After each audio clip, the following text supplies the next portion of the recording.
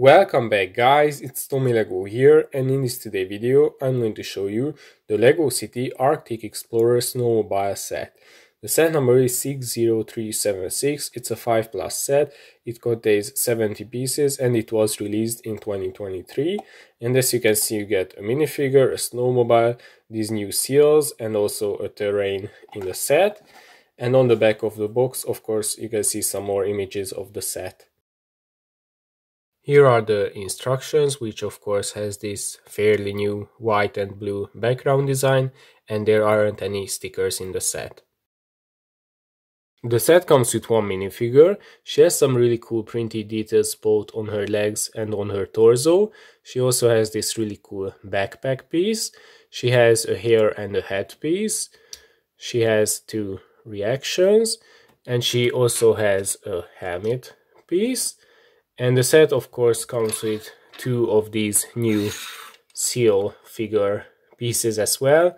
The big one, which of course has some face print detailing and I think these figures are really cool and of course these are new pieces and also the baby seal which again has some pretty cool face printed details and again this is a new piece as well.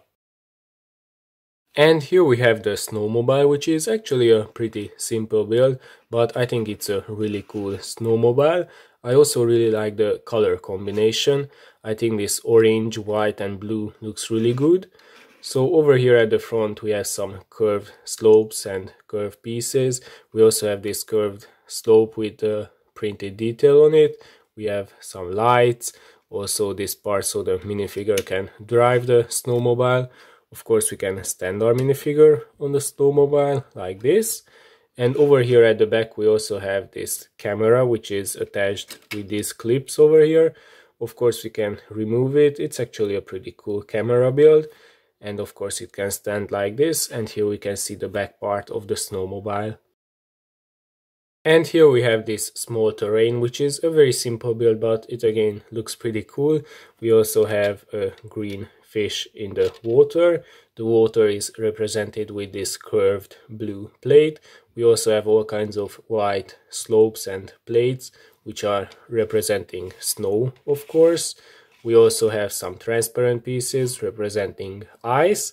So it's a very simple build, but it's a pretty cool little build, a cool little terrain for the seals. And we also have these 2x2 jumpers where we can place the seals. So all in all, I think this is a very cool little Lego city set because we get a cool detailed minifigure, we get this cool little snowmobile, a camera, also the new seals of course, and the little terrain.